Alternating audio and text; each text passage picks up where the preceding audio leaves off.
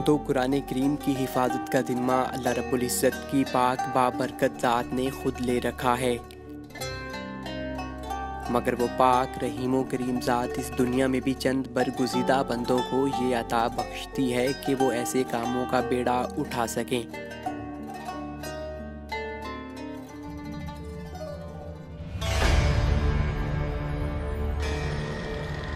اسی کی ایک مثال پنجاب کے چھوٹے سے قصبے سالار والا میں ترپن سال قبل بابا صوفی برکت علی لدھیانوی کا قائم کیا گیا قرآن محل ہے، جو تا قیامت ایک مثال جبکہ دیکھنے والوں کی آنکھوں کو ٹھنڈک پہنچاتا رہے گا۔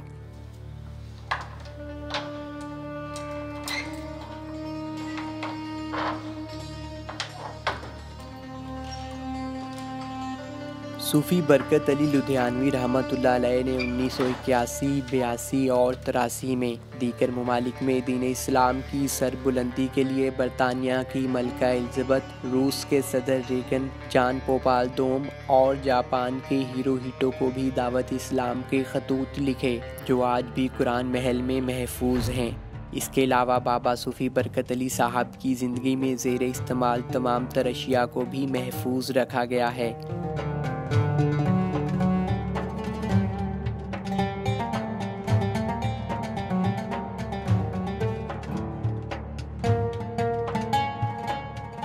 قرآن محل کی حفاظت آج بھی خادمین بڑے ذوق اور ادب کے ساتھ کرتے ہیں۔ انیس سو چوہتر میں قائم ہونے والے قرآن محل میں صدیوں پرانے ہزاروں نادر نسخے، مغل بادشاہ اورنگزیب عالمگیر کے زیر استعمال سونے کے پانی اور قیمتی پتھروں سے لکھے گئے تین سو چھیانوے سال پرانے قرآن کریم کے نسخوں سمیت دو لاکھ سے زائد قرآن مجید محفوظ کیے گئے ہیں۔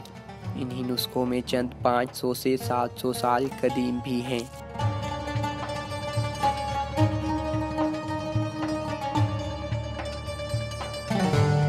محل میں قرآن کریم کے علاوہ غلاف کعبہ حضور نبی کریم صلی اللہ علیہ وسلم کے نالین مبارک، آپ صلی اللہ علیہ وسلم کی داڑھی اور زلفوں کے موئے مبارک، روضہ رسول کی صفائی کے لیے استعمال ہونے والا جھاڑو مولا علی شیر خدا، مولا حسین علیہ السلام اور اہل بیت کے تبرکات، سرکار غوث اعظم اور خواجہ معین الدین چشتی کے مزارات کے تبرکات بھی موجود ہیں۔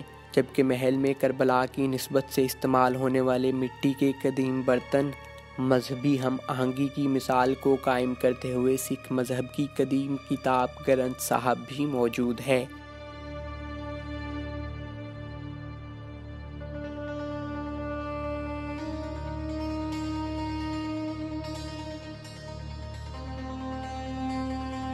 قرآن محل کے خادمین کے مطابق آج بھی پورے پاکستان سے شہید قرآن مجید یہاں بھیجے جاتے ہیں، جن کو جلد کر کے محل میں محفوظ کیا جاتا ہے۔ لوگ ہمیں گھروں سے محفوظ کرنے کے لیے دے جاتے ہیں۔ کچھ لوگ ہمیں ٹرینوں پہ بھیج دیتے ہیں، بسوں میں بھیج دیتے ہیں۔ ہمارے آدمی موجود ہوتے ہیں۔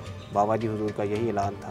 اور اسی کے مطابق ہم، کیونکہ یہ جو بابا جی حضور نے بلڈنگ بنائی تھی، یہ اب مکمل ہو گئی ہے۔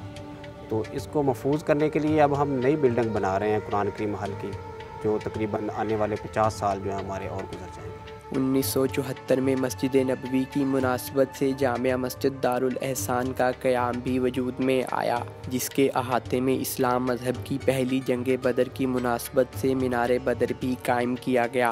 جس پر جنگ بدر کے تمام صحابہ کرام کے اسم گرامے بھی لکھے گئے ہیں، جبکہ علاء الدین علی احمد صابر کلیہ شریف کے ساتھ کیے گئے وعدے کے مطابق انیس سو چوہتر میں ہی فری آئی کیمپ کا قیام بھی کیا گیا، جہاں آج بھی ہزاروں افراد کا علاج ہوتا ہے۔